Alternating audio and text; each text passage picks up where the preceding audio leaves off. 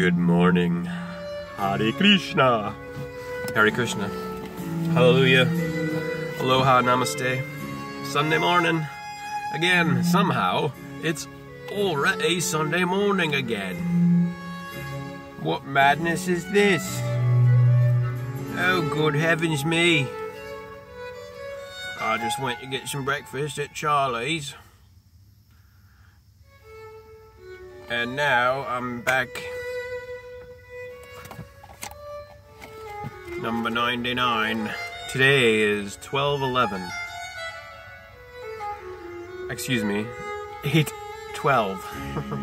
1211 is December already, yeah. No, it's 812 today. 8 plus 1 is 9.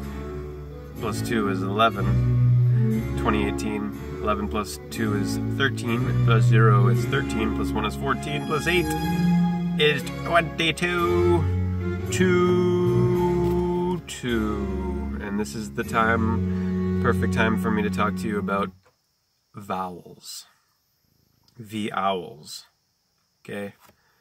Vowels.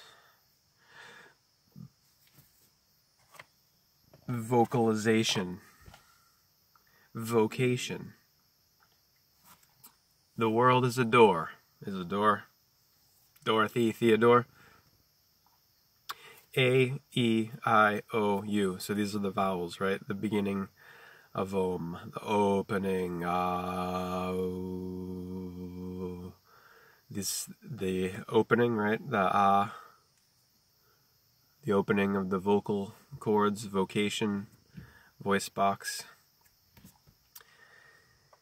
A, th these are all one. A, E, I, O, U. All the vowels are phonetic placeholders. They're all the opening Avum, the A, the Aleph, the A, the 1. A is 1, A, B, C, D, E is 5, I is 9.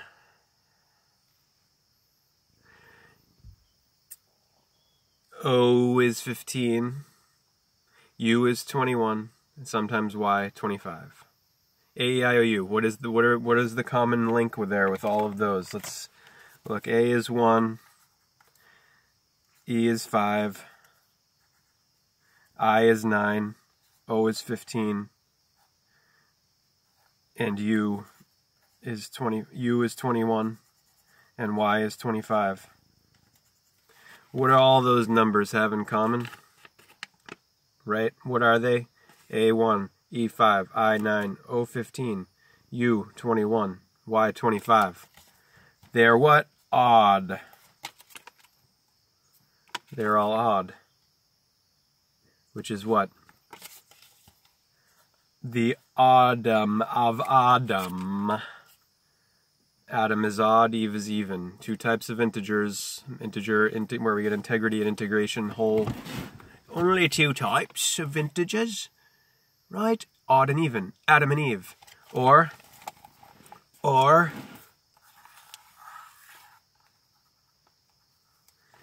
yang and yin. Yang, four letters. Yin, three letters. Yang, the sun, yang, the sun, yin, the moon, right? Masculine and feminine. What do these have in common with Adam and Eve? Of course, well, they're the same four uh, yang, four Adam, three yin. Eve. Adam, Eve, yin. Yang, Adam, Eve, yin. Sun and moon. Day and night. Deity. So, this is geneticist, genetic, genetics, gen genesis all about the genes of Isis. Yeah, right. It's about this stuff. It's about Kabbalism, Kabbalah. So you have vocalization, vowel, vocation. You see, I got a day job, right? uh, with a crew rowing the boat from which I'm on vacation. I've vacated my position temporarily, okay? That's my that's my day job. My vocation is this. This is where I use my voice, my free speech, and I share esoteric truth and light. The same thing, truth, light, wisdom, like this. The vowels. So the consonants, the constant iterations of Om, the um, and the vowels are the opening. Um, uh,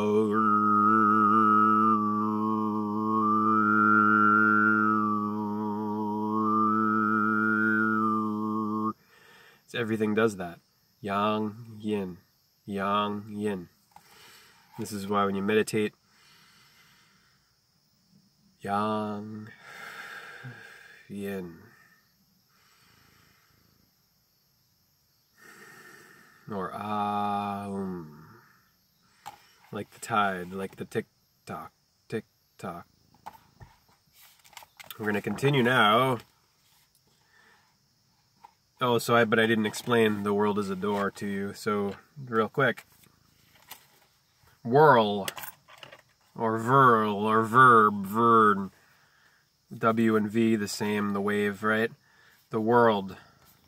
Like the Smashing Pumpkin song, The world is a vampire. World. Vampire. Hmm. Ward.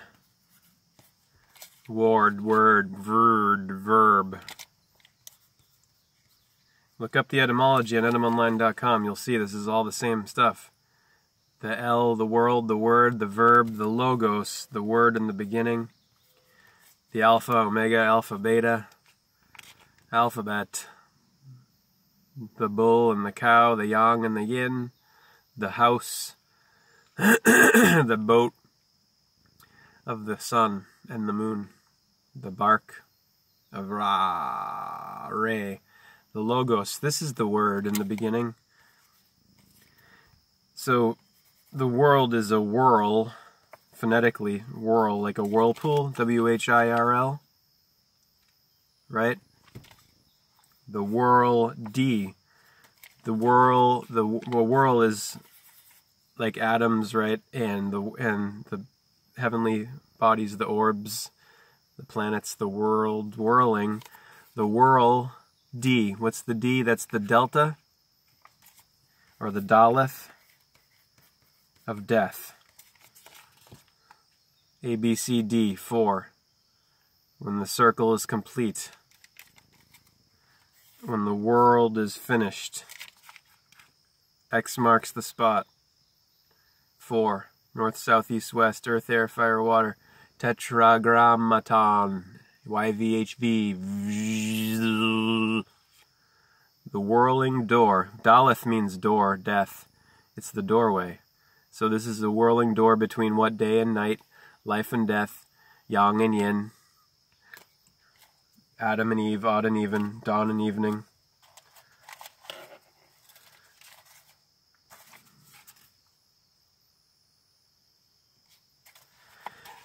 We're going to read a little bit of the first chapter now of Foreseen Beyond Time. I mean, the second chapter. We finished the first chapter. This part's called Distant Compassion.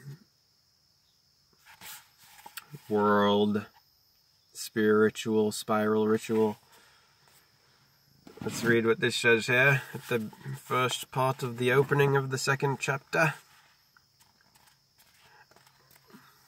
I hope you don't mind I slip into a British accent every now and then. I don't know why, it feels nice, I like it. I like it very much. Alright. Quote from Doris Lessing at Shikasta. Doris Lessing, comma, Shikasta. Must be her alternate name. The planet was for millions of years one of a category of hundreds that we kept a watch on. It was regarded as having potential because its history had always been one of sudden changes, rapid developments, as rapid degradations, periods of stagnation. Anything could be expected of it. Anything. Anything's possible. We're already 10 minutes into this video and I only got 15, so we're gonna have to read only a little today. In his legendary interview with the world's leading TV journalist Tatyana Yurasova in Moscow in 2008, the Master of the Light had answered one key question about the issues facing the world in an unusually cryptic way. When pressed, he would simply give a few Tao Te Ching type references. The ongoing earth changes and tsunamis were a reality akin to the fullness or emptiness of the Tao. His key statement at the end of the two inter- at the end of the two hours interview, which had then been aired worldwide, created the number one Google video clip of all time. Quote, Sir, is it true, in your opinion, that by 2020 over half of the current world population will be dead? Unquote. Here's the answer from the Master of the Light. Quote, If you are asking me this particular question about the future of mankind during the earth changes, it means that you do not understand the dynamics of what is about to happen to, the, to this world. Death is an illusion, and the truth of this will become visible to mankind as the earth changes progress. Unquote. That is when I knew that he was going operational with Dragon Gold. In fact, he told me in 2007 that the code word for the reality team to assemble would be, quote, death is an illusion, unquote. The connected ones would know how and why, and their understanding of the inner dynamics of the earth changes would define how their counterparts in 2027 configured the new timeline into the coming decades. In November 2008, the Master of the Light was holding an informal meeting at Chateau Chillon, Chateau Chillon, inside the Grand Dining Hall. Present around the 40 foot long medieval oblong table, standing close to the 20 foot high fireplace, were his information technology specialists. One astrophysicist and a reclusive biomolecular scientist who knew the secret genetic protocols of the Dark Lords. Remember, the Dark Lords were said to be the Greys or were the Greys working for the Dark Lords? Uh, Dark Lords are the Greys, I think. A former special intelligence officer from the European Space, Space Agency escorted an independent observer from the Space Federation into the large hall to oversee the technology transfer. Among the exchanges were among the exchanges were aware precious metals. Aware precious metals. Conscious precious metals, huh? He opened the watch case below the strap and inserted a 5 millimeter diameter round chip, which carried the entire program of the Space Federation's Information Technology Unit, plus the new OmniNet protocol connections with which to download data from one planet to another. The Master of Light preferred to use the more intricate coordinates of the 2013 Space Star Watch. Hidden elegantly behind its red face, a mother of pearl screen opened when he pressed the chronograph crown. On the holographic screen, he could read the time related alignments on many other planets. I prefer my watch, the Master of Light answered as the envoy readjusted the thin data carrier to interfere with the time travel coordinates, to interface with the time travel coordinates. The envoy, envoy explained how ESA and NSA and NASA, NSA, NASA, NASA, were in contact with Earth orbiter starcrafts and how their extensive traffic had been decoded since 1966 when Uranus aligned with Pluto in Virgo. During our castle meeting, we were informed that the Master of the Light had decided to move from Earth with a small group of humans and connected ETs. NASA controllers were trying to intercept our team, which amused the participants of our gathering at Chateau Chillon or Xi'an, I don't know how to pronounce that, I'm sorry, with silent crafts hovering over the icy lake of Geneva. An advanced reptilian race was his protection team for the 2137 Time Location Project. This sounds a lot like Fringe and whatnot, right? Oh dear. Time travel.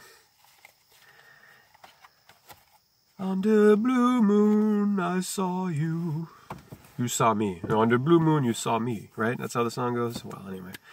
Namaste, Hare Krishna, Hare Bol, Hallelujah, Aloha.